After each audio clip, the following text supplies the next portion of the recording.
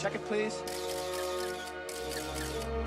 A photographer with an eye for beauty. Okay, great.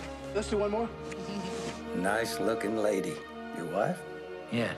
Why'd you ask? A man of wealth who lives through books. Charles knows everything. Got a question, ask him.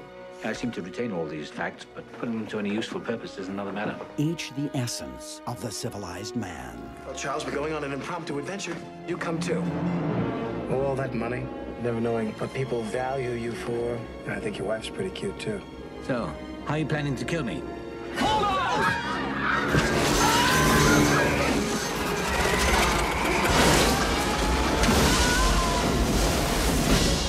But when civilization disappears, Why do we even think they'll come looking for us? Our friend's a billionaire. You know what happens when you misplace one?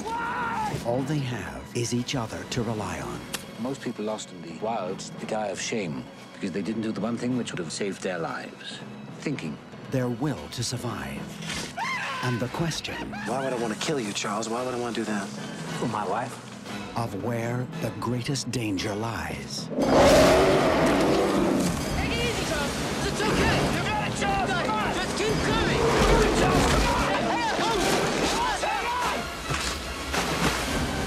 You saved my life. Well, I couldn't kill you with Steven around. I'd have to kill him too, and he's the only one that knows how I like my coffee. What are we gonna do, Charles? What? Am I supposed to have a plan? Rich man. All anybody wants, take something from you when they want it bad enough to kill you. You and my wife? I've seen you with her. 20th Century Fox presents Academy Award winner Anthony Hopkins, You want to die out here, huh? Alec Baldwin, Moneyed folk sit up there, drinks and golf, but get you in an emergency, Right. and you bloom. You make me sick.